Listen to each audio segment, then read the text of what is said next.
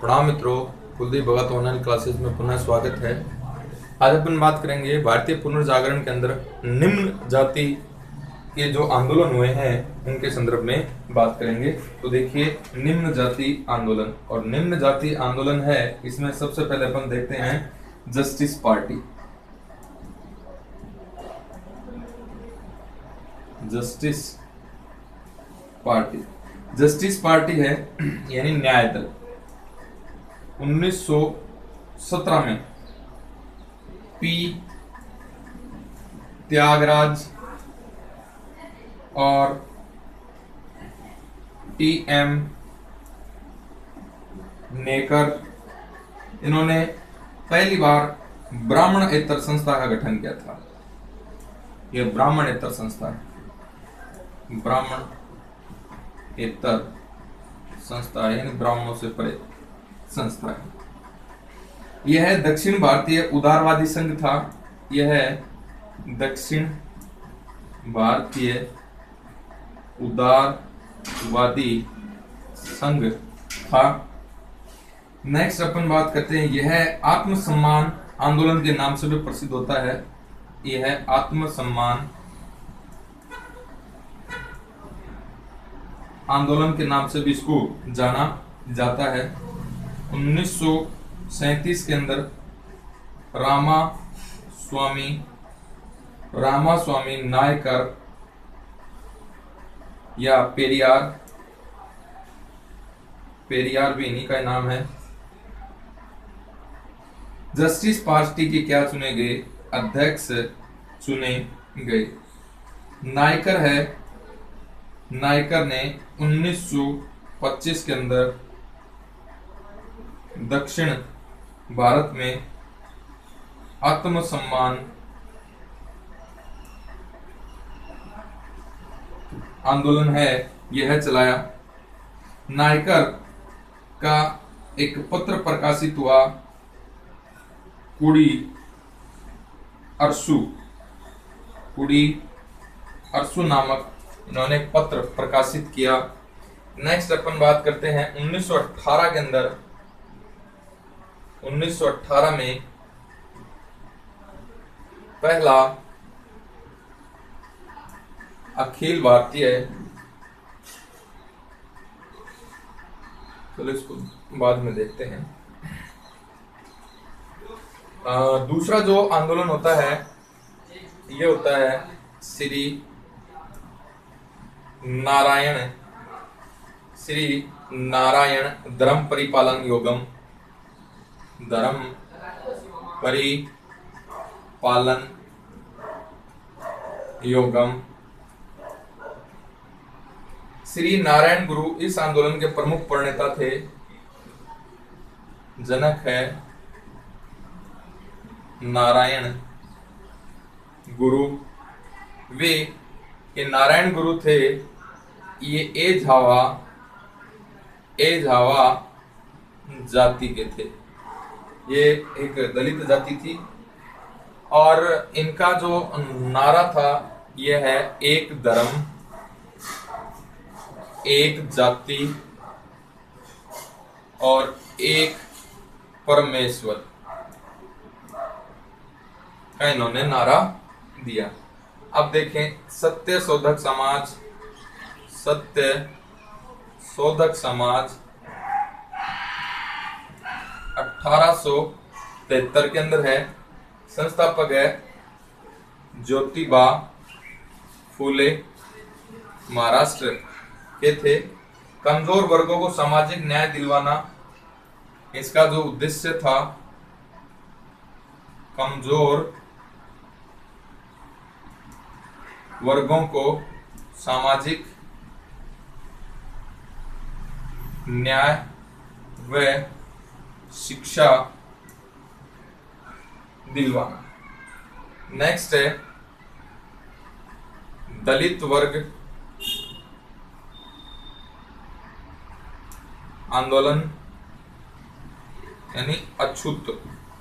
जो अछूत थे, इनके खिलाफ। भारत में प्रथम भारत के अंदर प्रथम अखिल भारतीय दलित वर्ग सम्मेलन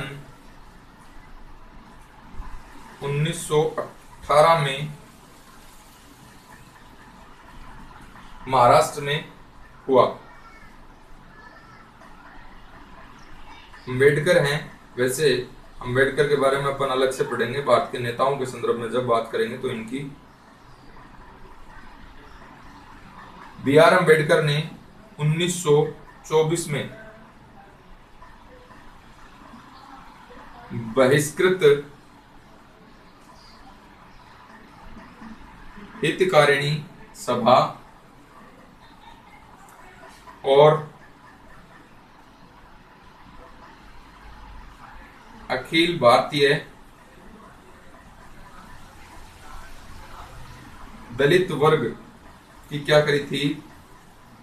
स्थापना करी थी। देखिए आगे। निम्न जाति आंदोलनों के बारे में अपन बात कर रहे हैं। तो देखिए, जस्टिस पार्टी है 1917 के अंदर पी त्यागराज और टी एम नेकर के द्वारा ब्राह्मणेतर संस्था है, इसकी स्थापना की गई। यानी ब्राह्मणों से परे संस्था है, इसकी स्थापना की गई। किसके द्वारा? पी त्यागराज और टी एम नेकर के द्वारा। टी एम नेकर के द्वारा ये स्थापना है, यह की जाती। आगे देखिए, आगे अपन बात करें तो दक्षिण भारत का उदारवादी यह संघ था या संगठन था, इसे आत्मसम्मान आंदोलन भी कहते हैं। 1937 के अंदर रामा स्वामी नायकर या पेरियार है, इससे जुड़ते हैं और इसके अध्यक्ष बनते हैं। नायकर है ने 1925 के अंदर दक्षिण भारत में आत्मसम्मान आंदोलन चलाया था और इनकी एक पत्रिका है, जिसका नाम है कुड़ी अरसु। पत्रिका का नाम कुड़ी अरसु है। श्री नारायण धर्म परिपालन योगम है, इसके जो जनक है, यह नारायण गुरु हैं और ये एझावा जाति के थे। एझावा जाति के हैं, जो एक दलित जाति थी, इनका नारा जो था ये था एक धर्म एक जाति और एक परमेश्वर। सत्य शोधक समाज है इसकी स्थापना अठारह के अंदर ज्योतिबा फूले के द्वारा की जाती है। इसका उद्देश्य था आ, कमज़ोर वर्ग को सामाजिक न्याय दिलाना और शिक्षा दिलाना। दलित वर्ग अछूतोद्धार आंदोलन की अपन बात करें तो भारत में प्रथम अखिल भारतीय दलित वर्ग सम्मेलन है। ये कहाँ पर होता है? 1918 के अंदर महाराष्ट्र में। होता है। इंपॉर्टेंट बात है, आपको ध्यान में रखनी है। 1918 के अंदर अखिल भारतीय अछूतोद्वार आंदोलन है, यह होता है। तो देखिए, अंबेडकर हैं बी आर अंबेडकर हैं, यह दलित उद्धार के लिए बड़ा महत्वपूर्ण कार्य करते हैं। 1924 के अंदर बहिष्कृत हितकारिणी सभा और अखिल भारतीय दलित वर्ग की क्या करते हैं, ये स्थापना करते हैं। आगे देखिए।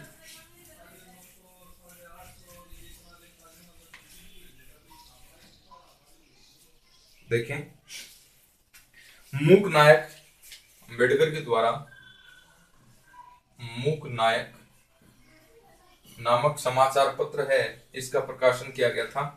और इसके अंदर जो सहयोग दिया था, ये दिया था कोल्हापुर के महाराजा, कोल्हापुर के महाराजा शाहू। शाहू ने सहयोग दिया था। नेक्स्ट है मजदूरों के हितों की रक्षा के लिए अंबेडकर ने स्वतंत्र श्रमिक पार्टी की स्थापना की।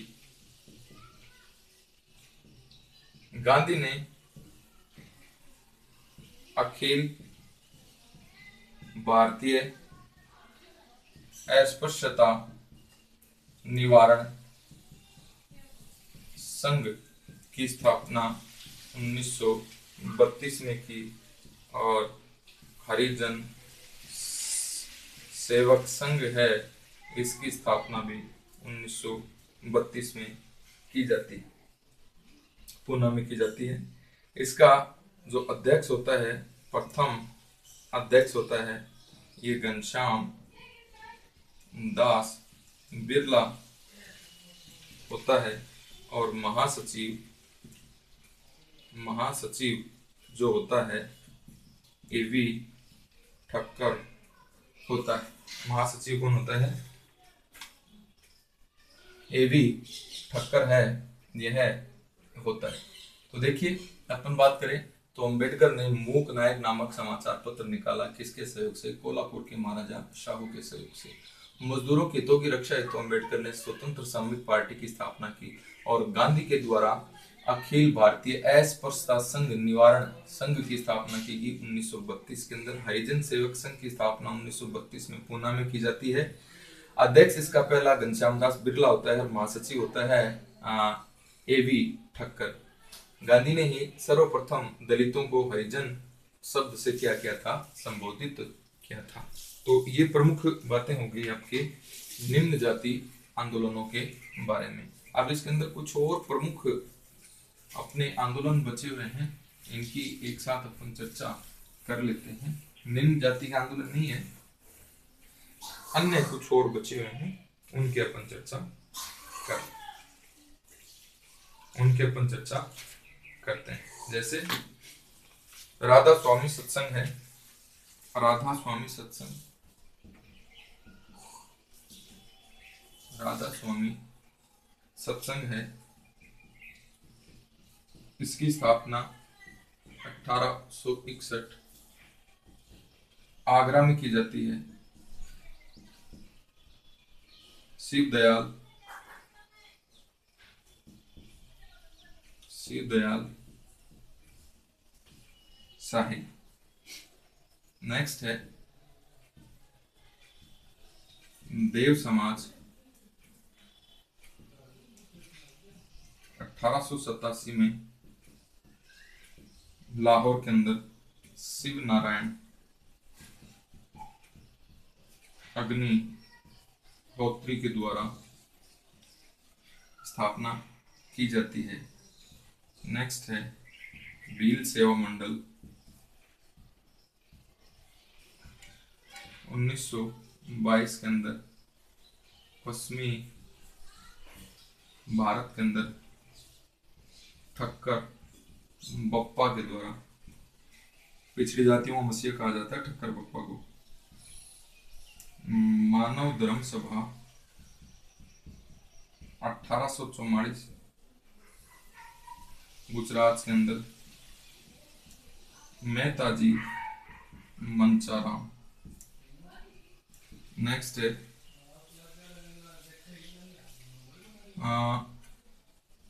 Depressed classes depressed classes mission society mission society 1906 में बम्बई में है V R Shinde V R Shinde next है आत्म सम्मान आंदोलन है